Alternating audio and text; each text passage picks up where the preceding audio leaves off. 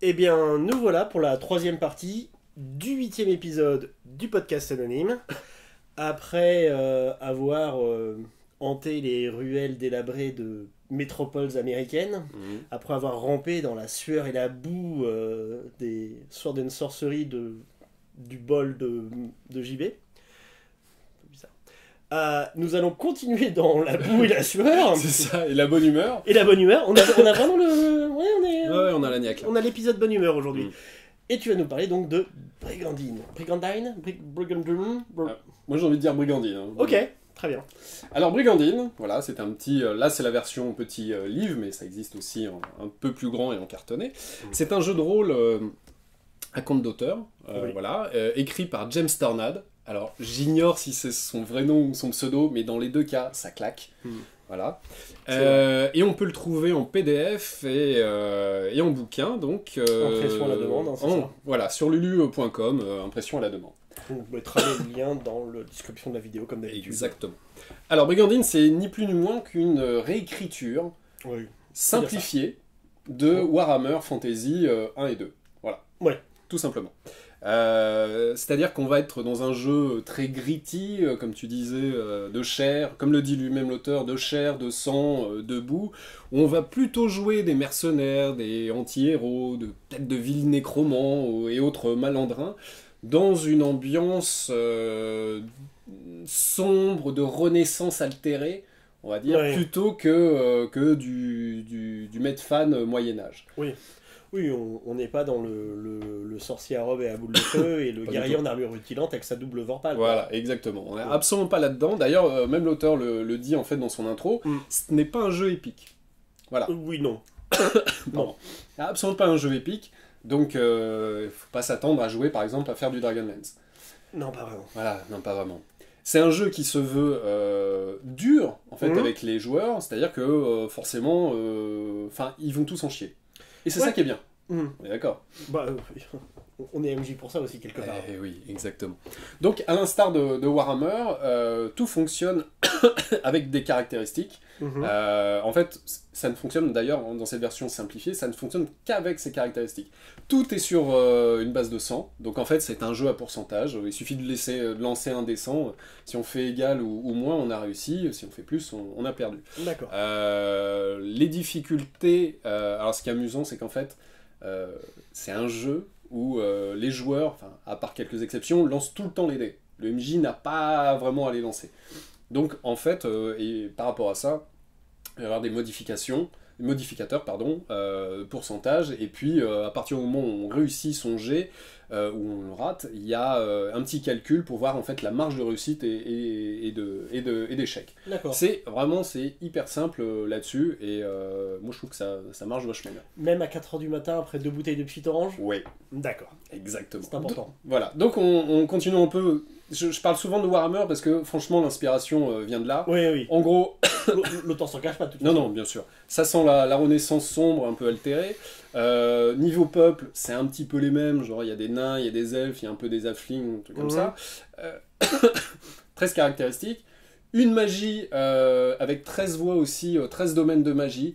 Alors, qui sont bien foutus dans le sens où euh, il n'y a pas de, de différence euh, entre la magie arcanique ou euh, divine ou euh, chamanique. Hum. C'est à partir du moment où on, on a une, euh, on a des points dans sa caractéristique magie, on peut investir dans différents domaines, c'est au joueur de construire un petit peu son personnage. Hum. Donc s'il veut faire un, un druide par exemple, forcément il va choisir parmi les domaines euh, élémentaires ou euh, un domaine qui a un rapport avec la nature ou euh, la voix des animaux Mhm. ce genre de choses.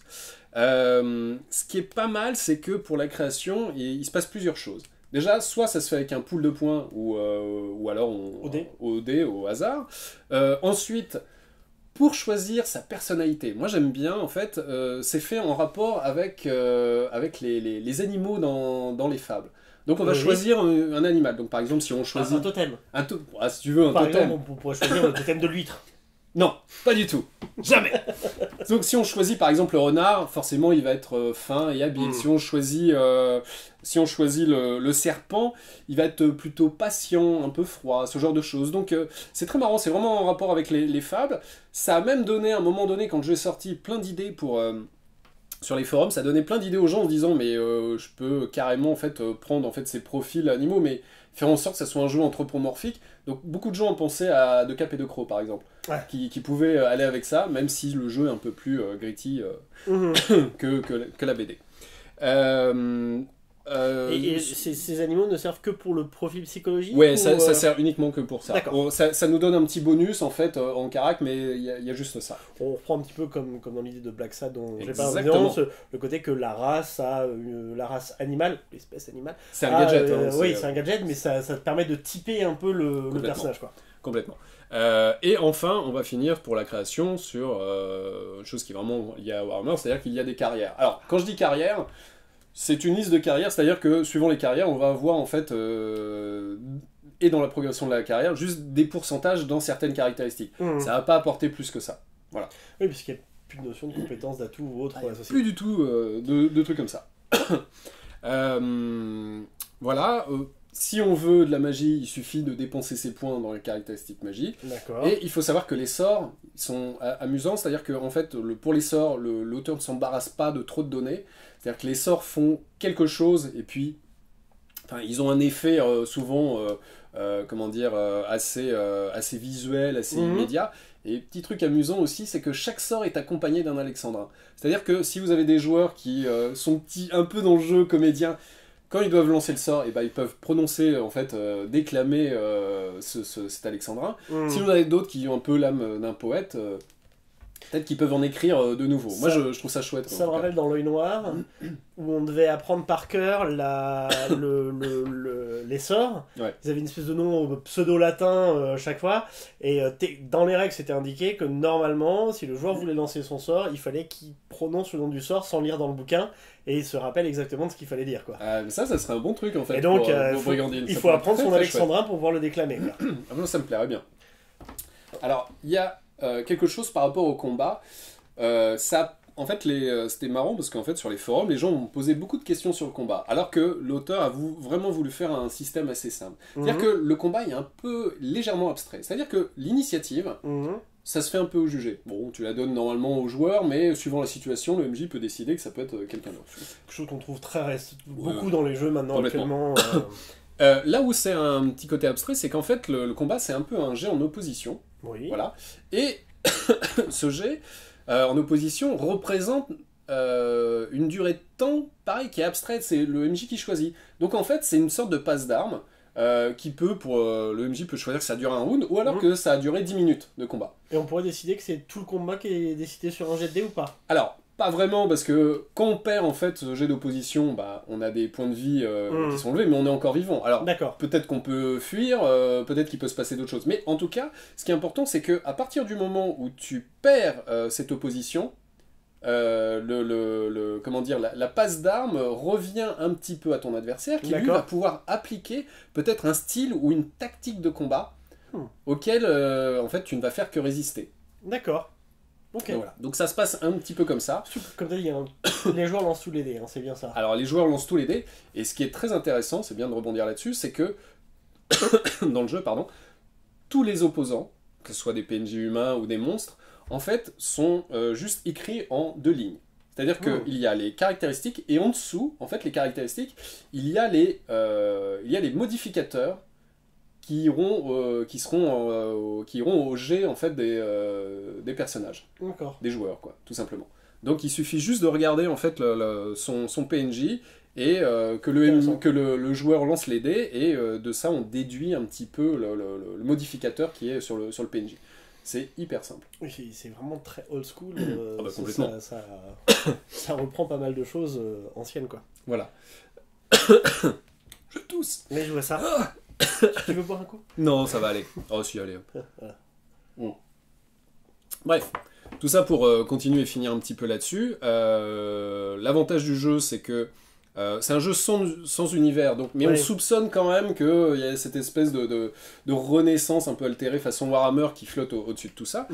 Le jeu est assez fin, mais hyper complet. Je veux dire, on aura la création de personnages, euh, le combat, la magie. Il y a un bestiaire qui tient vraiment bien la route.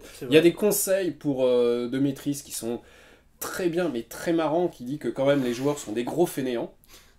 Moi, ça, j'adore. L'auteur n'est pas en reste, c'est-à-dire qu'il continue, c'est-à-dire qu'il y a un écran qui est sorti, Mhm. euh, qui est un- juste en PDF, il faut découper puis euh, l'adapter un peu soi-même, mais dans lequel on trouve des règles sur les séquelles, les blessures, et pour faire une magie un peu plus noire, un peu plus dangereuse. Euh, il y a un autre bestiaire qui est sorti avec beaucoup plus de démons, de monstres, Mhm. d'horreurs en tout genre, et il y a un compagnon aussi, avec de nouvelles règles intéressantes, avec de nouveaux pubs, de nouvelles carrières, euh, quelques sorts en plus, euh, des, des- je crois qu'il y a des bottes secrètes aussi, euh, ce, ce genre de choses, et une gestion de la folie, parce qu'on l'attendait un petit peu. Bah, Ah, s'il n'y a pas de folie, c'est pas vraiment Warhammer. Enfin, Exactement. bref. Euh, J'ai vu aussi de ça et là qu'il y a eu pas mal de- d'univers de, jeux qui avaient été adaptés à Brigandine. Exactement, il y, a, Nightcrawler, Nightcrawler, Shade. Shade. il y a Légende des Contrées Oubliées, Je sais plus, il doit y avoir un ou deux autres jeux, Ouais, etc. ouais. Mais, mais ça vaut le coup. Alors, faut posséder ces jeux pour pouvoir en fait euh, comprendre, mais qu'il y ait de plus en plus d'adaptations, c'est ouais, bien. Moi, je pense en plus que c'est, euh, pour moi, c'est un peu le jeu idéal, par exemple, pour faire du Solomon Kane. Ça, c'est évident. Euh, moi, j'ai vraiment envie de, de- de l'adapter euh, et, et jouer avec ça. Euh, et enfin, dans les dernières news, l'auteur vient de sortir une campagne en 5 épisodes où il y a déjà un aperçu de, de l'univers qu'il a envie, je pense, de créer. Donc en fait. Brigandine, moi je dois l'avouer, j'y ai pas joué, mais à la lecture c'est tellement simple que ça donne vraiment envie. Euh, côté, quand on a déjà joué à Warhammer, on a un peu déjà joué ah bah à Brigandine oui, en fait. il y a un petit peu de ça. Et en plus de ça, euh, l'auteur continue son petit bonhomme de chemin Ouais. et il fait quelque chose que j'aime beaucoup, c'est que euh, il a beau rajouter des règles, euh, je trouve qu'il fait mouche à chaque fois. Mhm. Et c'est toujours, ces règles sont toujours agréables, elles sont toujours simples d'accès et elles n'encombrent jamais en fait le, le reste du jeu. A priori, elles sont aussi euh, porteuses d'ambiance euh, pour que ça colle avec le Complètement. bah, avec l'univers de jeu qui est- qui est, euh, qu'il a mis en place, ce côté très euh, renaissance, sombre, boueux, euh, Moi, J'adore. qu'on bah, qu'on aime dans Warhammer aussi. Hein. Voilà. Bah, en tout cas, euh, honnêtement, moi ça a été un, un petit coup de cœur parce que je suis un grand sentimental, tu me connais. Euh, et euh, c'est un, un jeu déjà pas très très cher que je conseille vraiment à tout le monde. Mhm. qui toutes les personnes qui veulent voilà faire un, un truc un peu gritty un peu un peu dans une ambiance un peu urbaine ce genre de choses quoi Mhm. voilà Bah écoute, bah, merci pour tout. Moi je dirais en attendant que on ait des nouvelles de la licence Warhammer et qu'on sache si euh, on aura un Warhammer 4ème édition un jour et sous quel Mm. format. Ben euh, Brigandine, euh, c'est bien, c'est français, c'est auto-édité, ouais. très bon boulot. Ouais, je, je suis assez d'accord avec Laurent, c'est c'est à voir. Ben voilà, ça clôt notre, notre, notre épisode 8 euh, du podcast. Épisode très, euh, très joyeux, euh, fun et plein de, de licornes qui gambadent dans la prairie. hein. Voilà. Euh, bah, merci de nous avoir suivis. on annonce quand même ce que ce que va être le prochain Ouais, je sais pas si. euh, Moi je dirais, on devrait juste leur dire qu'on va traiter juste d'une gamme. On d'accord fait un truc sur une gamme. Un truc. On va envoyer du lourd. Je je pense que ça peut suffire. je suis d'accord Ça te va? Ouais. Très bien. Et ben en attendant, euh, bonne lecture. et bon jeu